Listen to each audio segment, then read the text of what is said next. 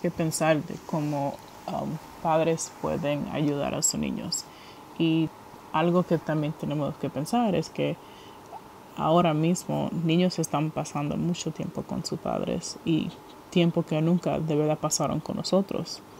Entonces, una manera de nosotros ayudar a ese proceso es de verdad entendiendo que estamos pasando este tiempo como familias y ahora los niños son parte de nuestra parte de nuestra vida. Es una manera que va a tomar un poco de tiempo para nosotros adaptarnos, para estar más estable.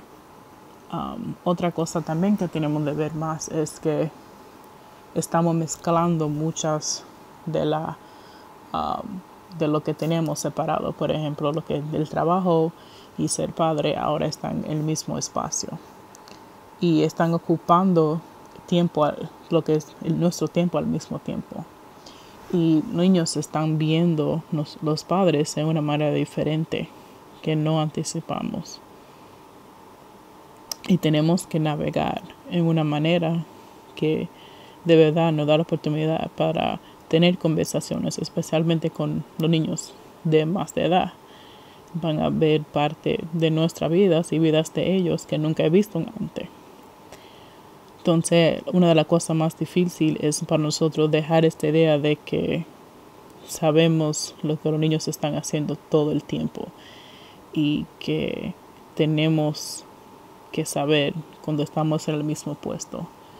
Um, pero en realidad vamos a darnos cuenta que um, hemos visto parte de ellos que no sabíamos o que no conocíamos.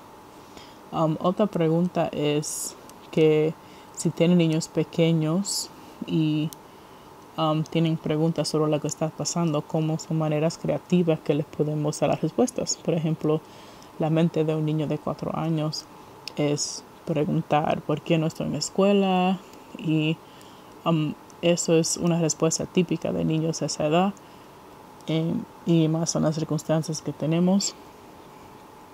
Um, entonces, uh, la manera clásica de la respuesta es como para decirle la misma respuesta, una respuesta que sea suficiente para la pregunta.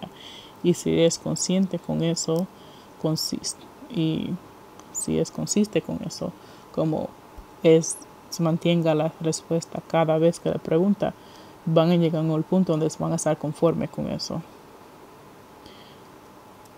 Ah, um, y es una reacción normal para niños preguntar la misma pregunta.